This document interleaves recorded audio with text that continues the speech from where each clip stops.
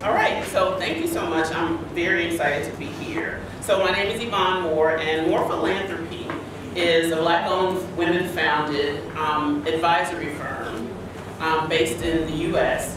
We provide advisory services to individuals of wealth and means, and our kind of motto is connecting passionate donors to solution-oriented change makers to solve some of the world's world's most challenging problems. Um, we launched three and a half years ago. I've been in philanthropy for the last 20 years, and before that, um, working on the ground primarily in child protection, um, child um, services. One of our, our expertise, rather for the firm, um, sits very much in family dynamics, so kind of managing the crazy of family, you know, two key issues for me around diaspora philanthropy is the potential to actually leverage the wealth of not just the diaspora living in the United States, but also African Americans. So one of the things I think is very core for African Americans is that the connection to the continent, there's so much potential there. So 300 million people um, in the United States, 14% of those are African Americans. When you break that down further um, and look at immigrant population, folks who come from other places, 39% of those folks come from the continent. Black spending power is at 1.7 trillion dollars you know, one of the things I, I wanted to make note of is spending is very different from wealth building. I also like to talk about wealth building, but there's still the potential for spending. And so that's very, very important. Um, so one of the things I want to see us do more of is leverage the wealth and means that's in the United States.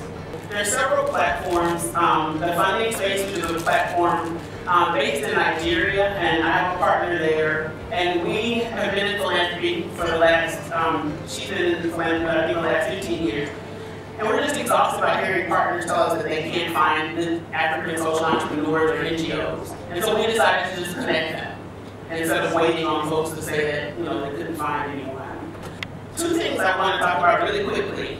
Um, narrative, which I think I don't really need to say much about that. The narratives around just wealth, black wealth, African wealth globally are still very real.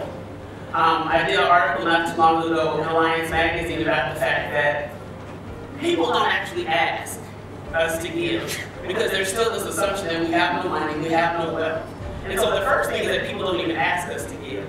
Second, especially which I find um, prevalent on the African continent is that there's this assumption that the money was made to build out in ways which is so hilarious to me when you think about philanthropy foundations and actually, Nicolette talked about this earlier well, the wealth actually comes from, right? So you all are far ahead of us in that fact that you actually talk about where the wealth comes from. You know, East African Philanthropy Association actually asks their donors where the money comes from. But irrespective of that, there's some kind of, you know, myth that if the money was, if, the, if you're a rich African, then it must have come from ill-gotten means. And so therefore your philanthropy is somehow less than, right? And so these are the myths that are very, that are very frustrating and I'm constantly trying to dispel. I think one of the big things for me now is power. So this transfer of money from the US, for example, um, to the continent, what I want to find out is where the money is going to. Because there, I, I prefer, and this is what I advocate for, is African institutions collecting those dollars versus other colleagues from the US who are collecting those dollars. And with respect, they just, you know, there's a difference between doing it and doing it right and wanting to do it right. And I have colleagues who choose not to do it right. And it's actually a pain for my grade team, therefore it's pain for me. Because they don't even choose to understand the context in which they're delivering money. So there are many organizations based in the US, run by Americans, that actually allow you to make a gift and then they transfer the money here. I would actually prefer to have money transferred here to black-owned or African-owned or run organizations, whether it's a community foundation, whether it's a donor-advised fund, whether it's an NGO, you know, I know so many community foundations who could actually be receiving the funds on behalf of their citizens and then helping get that money to the ground. Um, so I will actually stop there and I look forward to our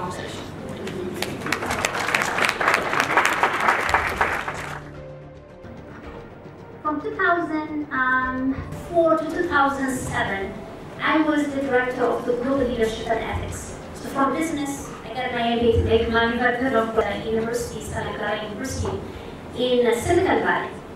During that time in Silicon Valley, I had access to incredible resource. During that time at Skoll Foundation, there was an online platform called Social Edge. This is very important because I think earlier uh, one of our people speakers said context matters.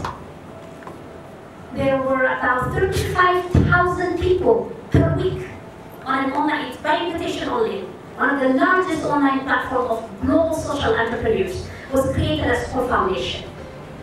And I will be always baffled by this thing why are all these people talking about Africa and non-Africans? My problem is, look, I'm from Eritrea. I grew up and raised there. I was raised, I was born and raised in Eritrea. Whoever wants to do good in Africa has a right to do good. The story of these people that I'm going to tell you. Because their story is not told.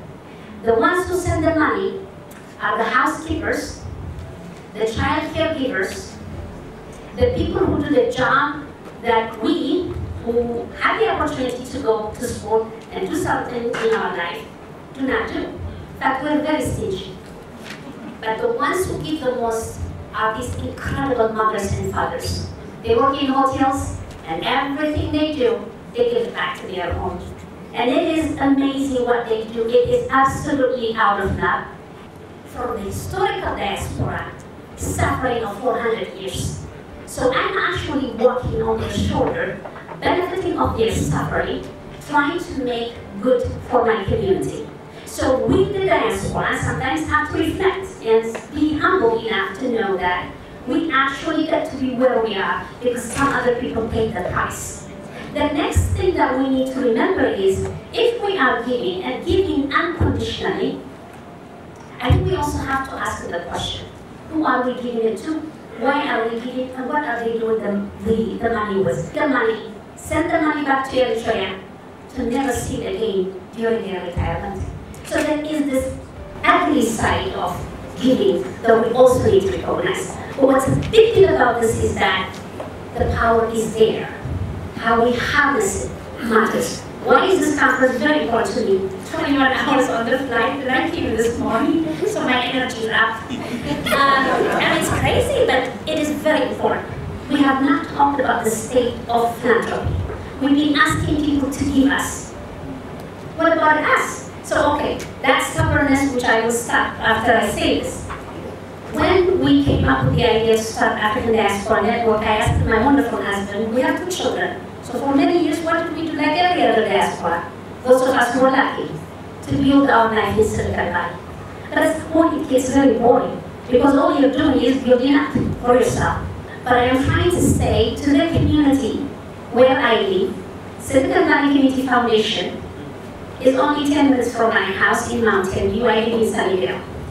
$13 billion in fund it's donor advised fund. to talk about that. But Yvonne knows about it more than I do. What does that mean to me as an African woman leading an organization in Silicon Valley? Absolutely nothing.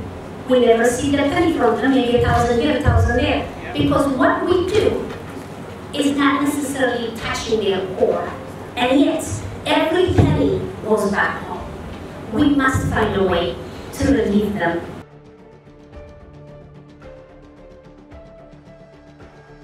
uh, there's been greater recognition of the diaspora uh, by the uh, African governments, the development agencies, and of course the diaspora itself has become more conscious of its own uh, power. And uh, this has led to, uh, of course, the African Union in 2004 recognizing the diaspora as Africa's sixth region. And in, in turn, a lot of African governments are recognizing the diaspora, setting up directorates of diaspora affairs, uh, and of course, uh, one complete manifestation uh, is dual citizenship. As of last December, 31 African countries recognize the diaspora. Uh, secondly, uh, the diaspora plays a major role in contemporary politics. Uh, whether you're talking about struggles for democracy, struggles for development, but also they get involved sometimes for negatively or positively in African conflicts, generating those conflicts or resolving those conflicts and of course being involved in post-conflict reconstruction. And then secondly, there is the social cultural contributions of diasporas. Uh, diasporas possess attributes uh, and, and, skills, and they have access uh, to extensive transnational uh, social, political, and cultural networks that can be mobilized, and sometimes they do mobilize them uh, for the development and uh, democratization of their countries. let me talk thirdly about the economic contributions of the diaspora. Uh, we've already heard uh, you know, about remittances. There are four types of economic contributions uh, of the diaspora to Africa.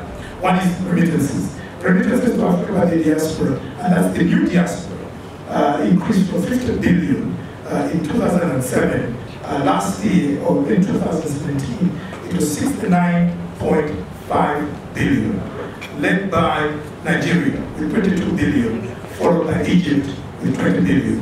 You, you notice my Africa is the whole continent. I'm not talking about the Sahara. How do we develop the next generation of academic staff? How do we develop effective leadership for African higher education institutions? And, and all this has an impact on the quality of the graduates we produce. And employers complain, our graduates are not ready. So employability data is very depressing when you look at it. For the developmental lag we still have to undertake, namely infrastructure, industrialization, and so on. But also, what kind of skills are we providing for the fourth industrial revolution? We missed the first three, and we're still trying to recover that. And then there is the fourth. With these deficits, foreign universities, how far can we really go? So it is important, in my view, for the diaspora uh, and philanthropy in general to focus on higher education specifically. I had the privilege of being the chairperson of one of the pioneering um, diaspora development organizations for 13 years and worked with them for 22 years. So for the purposes of my presentation today, I would focus on how to expand and enhance African philanthropy. Traditional and historical African approach to philanthropy and what you do. And one of the elements in traditional African giving is the idea of sharing. So despite the problems we face in remittances, our money is sometimes not used the way we want it. We still keep doing it because it's a duty and that duty comes from sharing. In fact,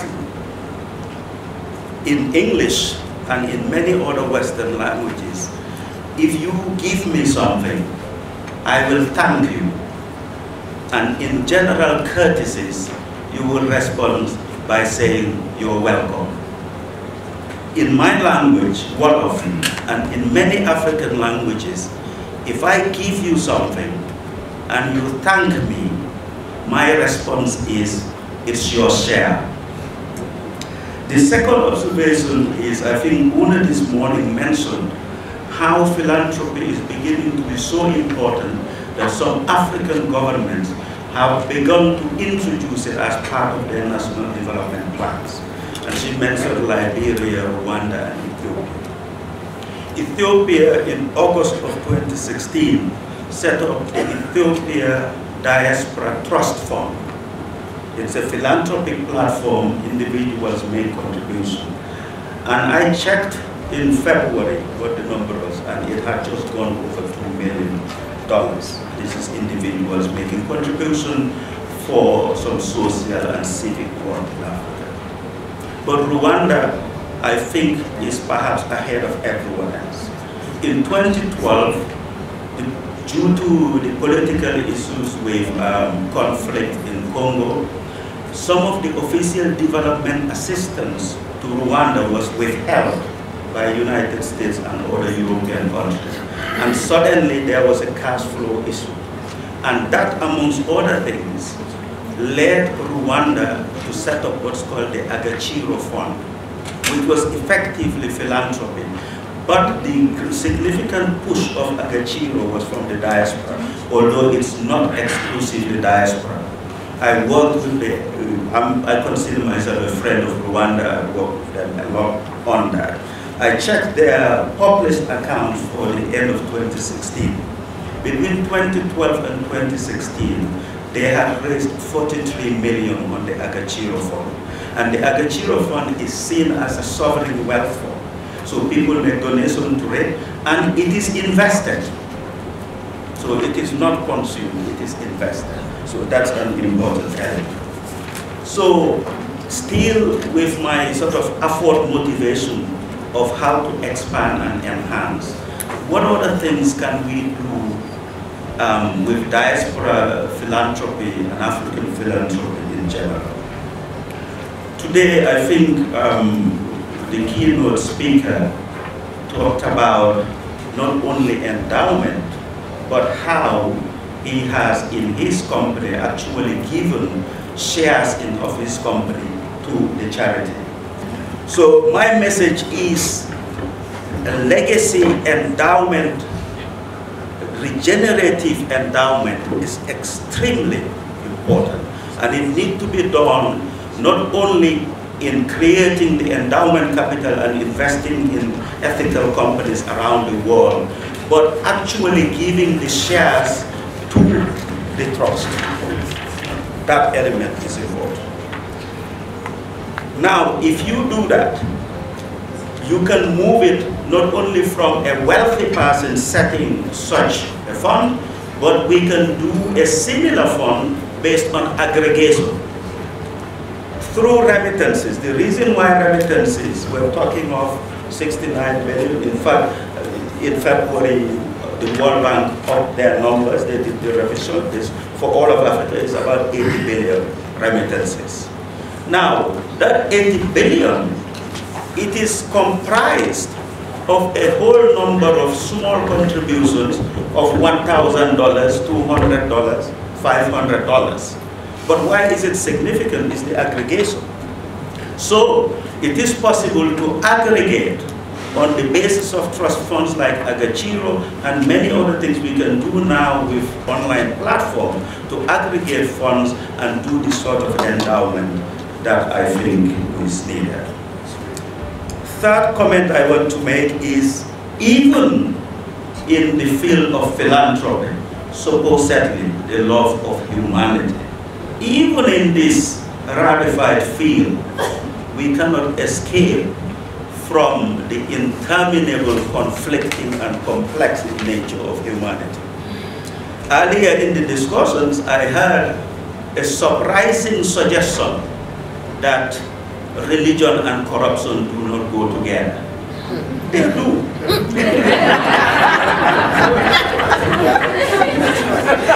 Humanity is so complex and conflicted. In fact, religion is partly motivated by the want to fight corruption and sin and sinfulness.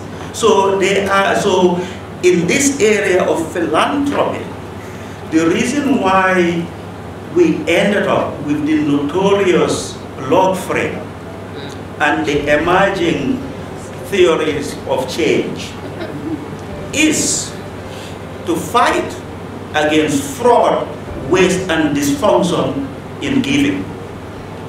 So when we worry about the managerialism of the log frame, let's just remember that it didn't come due to the evil nature of some bureaucrat. Hmm. So the lesson for me is let us be pluralist let us use different methods and have different options, not necessarily each one of them the panacea. Most of us CSOs and individuals who receive money, it is consumptive giving. So you give me, I consume 100% of it. If I'm lucky, I consume 95% and save and build on 5%, but that's still low. What about if you are able to give me in a manner where I'm only consuming less than 50% and the rest is to build this resilience so that I don't come back to you. And why is that important? It's not just a philosophical point, it's a deeply significant economic. And it's not necessarily common sense. For the longest time in the history of humanity, we all had the common sense that famines are caused by the lack of food. Until Amartya Sen came and told us that that's not the case. It's the lack of food security. So the floods in Mozambique, the biggest problem is not necessarily that the floods happen, but the point that one is not able to deal with the floods. So this productive exit-based giving, which a philanthropist can do, enables me to be more resilient to deal with floods, whether they come or not. Thank you very much.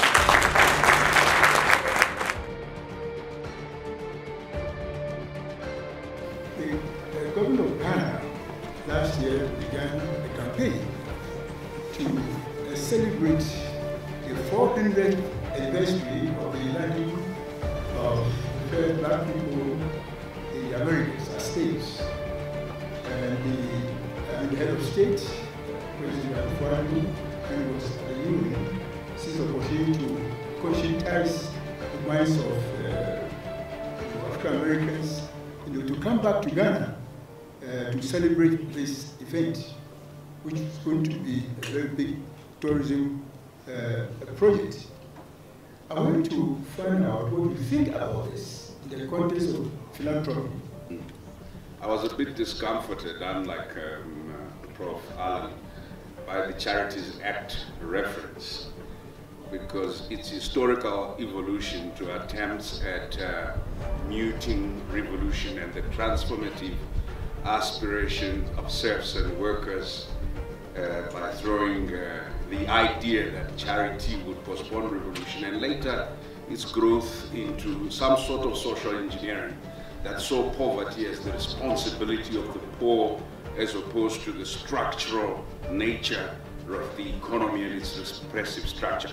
So it is useful, therefore, when we're talking about this, that we don't enter into the same historical denialism about the function of structure within the economy, the function of policy and predatory external interests, the function of certain ideological uh, uh, deployments if you call my grandmother poor, she really will be um, feel very bad that you called her poor. We need to move out of that language of using the word poor. It's completely disempowering. We are not. Considering there are so many of us in the African diaspora and on the African continent, and we have such spending power, um, and this is coming from a student and a scholar, is it important that we reposition the mainstream narrative? Should we continue calling this diasporic or African diaspora or African philanthropy? Or do we start need to start seeing ourselves as central to global philanthropy and central to moving this agenda of, you know, love for humankind and all that kind of stuff and uh, mobilizing funds for positive social change? Is it time for us to change the language or does it not really matter as long as action and the dollars are there? Uh, and even the notion of Africa, we have adopted, you know, what I was saying earlier, certain descriptions of Africa that are really directly from the colonial library. By Africa, we mean sub-Saharan. This is Hegel's construct.